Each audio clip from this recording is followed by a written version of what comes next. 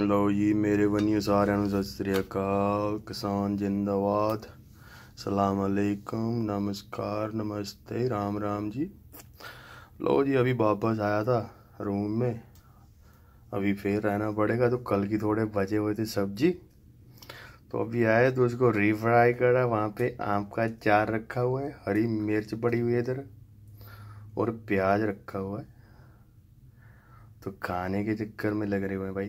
तो जिन्होंने channel subscribe नहीं किया मेरे भाई तो कर लो भाई। लो भाई, आगे इसकी स्टोरी शुरू होती है। ये शुरू यूट्यूब से ही हुई है तो यूट्यूब को सभी को पता लगेगा कि मेरी ज़िंदगी में क्या हो रहा है। तो लो जी, लड़की भी मान गई है, लड़का भी मान गया। लड़की ने भी लव यू लव यू कर दी, लड़के ने भी लव यू लव यू कर दी है। ये तो हो गया, चल लो। लेकिन प्रॉब्लम आगे की ये है भाई, वो पठान लड़की है। आई थिंक ठीक है? तो भाई डर सा लग रहा है, बोलते जो खां, ये होते हैं भैया, वो देसियों से नफरत करते हैं। अब देखना ये है कि असलियत क्या होती है। जो अगर मैं यूट्यूब पे आता रहा दैट मीन ज़िंदा हूँ, अगर हट गया तो पता लग गया, लग गई। ठीक है? लेकिन पीछे में हटने वाला नहीं, मैं जो एक दफ़ा ठान लेता हूँ, मैं करता वही हूँ। तो अब ये ज़िंदगी का फैसला जो करना है, इसके आगे पीछे तो मैं हटने वाला नहीं है, क्योंकि मौत से तो मुझे तो डर लगता नहीं है, आनी तो एक दिन है ही, ऊपर वाले ने जो देनी है। तो वो चीज़ से डरो, जिससे डर लगे तो मौत वगैरह से डरना नहीं चाहिए, क्योंकि वो तो सत्य है। सही है? तो भैया, इसलिए प्यार से रहो, मोहब्बत से रहो, एक दूसरे को प्यार से बुलाओ, इज़्ज़त करो।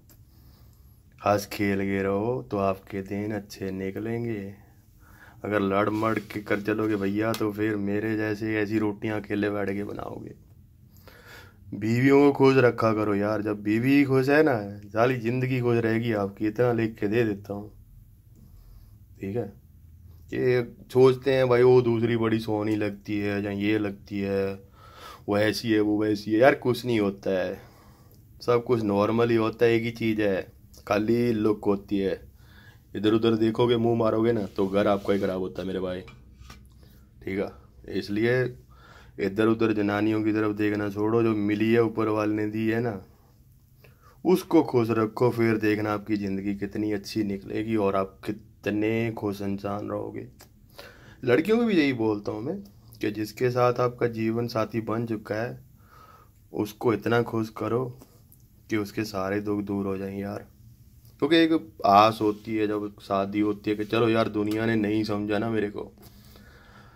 चलो जा, मेरा मियाँ, जा मेरी बीवी तो समझने वाली आएगी ना। लेकिन साला क्या होता है, हम लोग इतने एडवांस हो चुके हैं कि लोगों पे बिलीव कर, करके अपनी ज़िंदगियाँ बर्बाद कर लेते हैं और लोग क्या है, हँसते रहते हैं। ठीक है? और आपको बेवकूफ़ समझते हैं कि आप उन लोगों पे विश्वास करके अपना घर उजाड़ रहे हो। तो मेरे भाई, छोड़ो ये लोगों की बातें, अपने आप को देखो, क्या करना है, क्या नहीं करना है, ठीक है? अपनी लाइफ की और बच्चियाँ की देखने का है। तो ये लो भाई, मेरी रोटी बन गई है।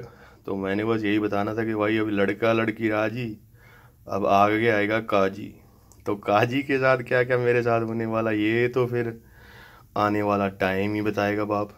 तब तक कल के लिए रब रखा।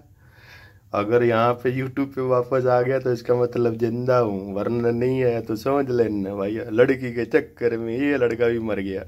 ठीक है, चलो उस्ताज